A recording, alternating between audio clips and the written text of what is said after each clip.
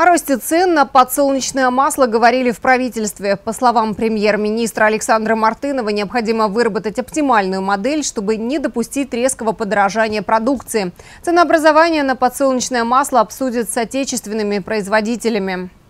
Рост цены на продукт наблюдается у нас и в сопредельных странах. Главный фактор – дефицит сырья.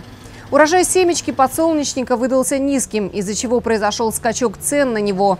При всех понятных экономических составляющих этот рост цены для населения неподъемен, считает Александр Мартынов.